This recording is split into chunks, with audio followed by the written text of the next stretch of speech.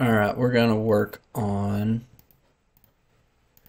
creating plan and profile sheets for this project. I had already created them um,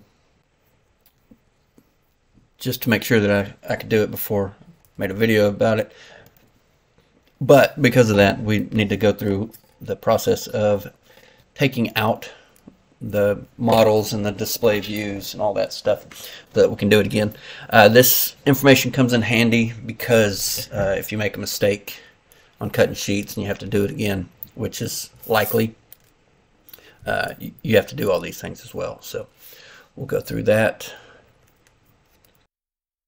Okay, so now files pulled up. We need to go to the default or the multimodal view.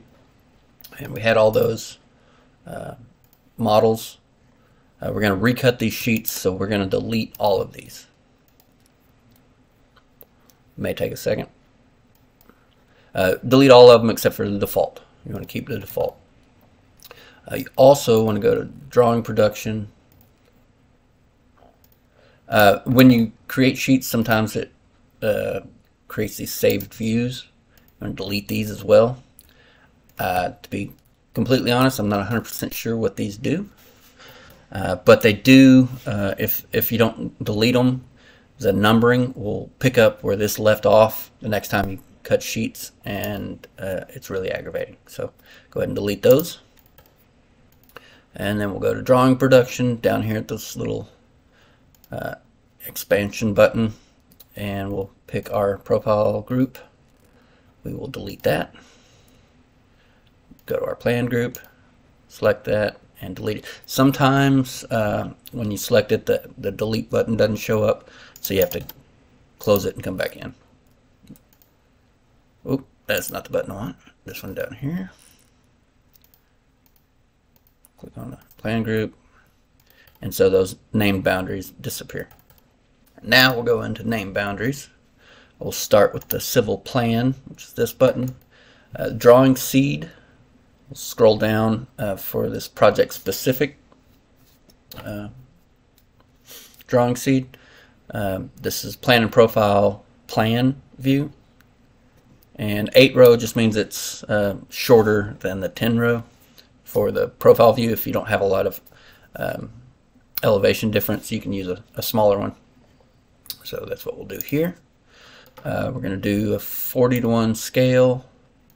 The name uh, find that the default, by default, it puts in plans, plan space one. Uh, but if you delete that space and put in a, a zero, it helps with the numbering later on. So I highly recommend doing that. It'll ask for, down here it says ident identify path element. It's going to be our center line. Uh, we'll pick where we want to start from. Uh, I've found from earlier, testing it out earlier, that sometimes it gets stuck and you can't in here and change things. So let's close it, come back and try it again. Uh, seeds correct. We'll identify our path. Uh, from earlier, uh, experiments have found that 534 good starting point gives us good space before and after the, the end of pavement and puts the the intersection in the middle. So that worked out good. I like to change this. This is auto populated I like to change this to just the name of the the alignment that we're using. Sometimes it just picks itself and you have to fight with it. So it named them something I didn't want them named. So now we'll go back through. There's two options here. You can just rename it here or delete it and do it again. Uh, to rename it, you got to go to the properties and you can rename it here. Doesn't show up here until you close it and reopen it. There. but now we've got our plan group here. And we need to do more name boundaries for the profile group. Uh, notice in the last one and in this one uh, kept create drawing unchecked because we need to create both of the name boundaries first before we start creating the drawings. Uh, and now we'll change from plan to profile and select the drawing seed. Project specific. Uh, make sure the detail scale is the same. Uh, change this to profile 01 uh, now it's going to pick uh, it's going to set the station limits uh, from our plan group instead of us telling it what the station limits should be. So it'll match whatever this plan group is, which is up here. Uh, but it asks that we identify the profile view. So we select view 4 and should be able to there created those uh, I don't see a need for this jump in elevation uh, and that's you can work on that here uh, if you get the top elevation of 5 that usually flattens it out, keeps everything at the same datum. Uh, and then you data point to accept once we're happy with it. And it creates the name boundaries for that. Now we go back into the name boundaries dialog, which is this little button here. And you'll notice the plan group is a, has linked profiles to it. So we can select this. Uh, we want to make sure that this is selected, the show create dialog box or create drawing dialog. Uh, you'll know it's selected when it's kind of grayed out behind it. It's a, it's a checkbox typically. And, and then we can go to create plan profile drawing. Click that and you get this dialog box come up. Uh, you can change the names of the model views that, that it's going to create. Uh, this is okay, um, but this is where you would change make make those changes. You can also do it later um, by hand, but this will do it, you know, automatically. Uh, we want to change this uh, annotation group to 40 for both of them, and the detail scale is 40 for these down here.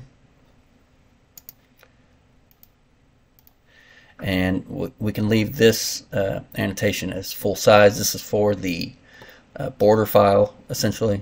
So we want that one to one and then we can click OK and cross our fingers and hope everything works. This takes a little bit of time. Uh, you can see the pro progress bar down here, but I'm going to cut out uh, the two or three minutes that it takes to do this. Alright, our sheets are created and we can go and look through each sheet if we want. Uh, the annotation when it created profile group, uh, it creates the, if you go and look at the, the drawing view, you can see um, it creates all the annotation, including uh, the elevations on the side, the stationing across the bottom, and uh, the elevation at each station. Uh, we don't want all of this information, uh, and I haven't updated the annotation group to not include this yet, but uh, I'll get around to that. But for the meantime, we'll just have to go through and delete this information that we don't want. Uh, and this is a uh, existing ground profile, so it's picking up information from the uh, from the tin. That's why it's kind of jagged like this. Um, in a proposed profile, it wouldn't it wouldn't be like this, but for existing it is, so we delete all these things. Um, and then if we go back to that that view, that sheet view, I think that was, where am I? Profile 2, so go to Profile 2 sheet. And now, now those are deleted. Um, for the border file, we have this guy here, and we need to change it from no nesting to live nesting, and change nesting depth to 2. And that way we can open this up, select this guy, and when we turn on this one, our border file will come in and then we can also do our seals here. Uh, so we're going to have to do that individually or on each model, um, but that's how that's created. Uh, if you have any questions on why I did something, how I did it, or you know what tools I was using, just message me, give me a call, whatever. We'll get it figured out. All right. Thanks.